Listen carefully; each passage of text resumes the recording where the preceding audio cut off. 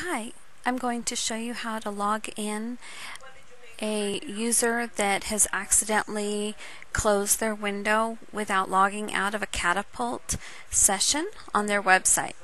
When somebody does this, it makes it so other people cannot go in and edit that website later.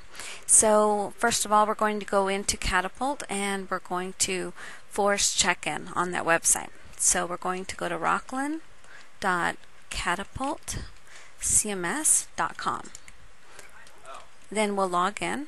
And of course, if we're not an administrator, we won't have this option to uh, log in and force check in. Okay, so I'm signing in, and once I get in, I'll see a list of the websites that I have access to, and you'll notice next to each one that's red, it will show us, you know, who it's logged logged out to. For instance, Rocklin Unified School District is checked out to Julie Vestal. Parker Whitney is checked out to Kathy O'Keefe. And then Antelope Creek here is checked out to Hecka, which is my administrator username. So I'm going, going to force check-in on the Antelope Creek website, and this will allow other people to then be able to log into Antelope Creek and update their website.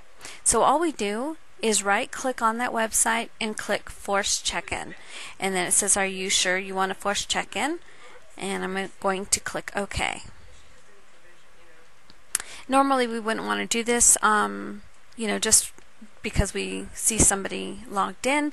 But if somebody has accidentally locked the website and are no longer able to make edits to that website. That's all there is to it. So anyway, once that's done, they can then go back into their website and make changes.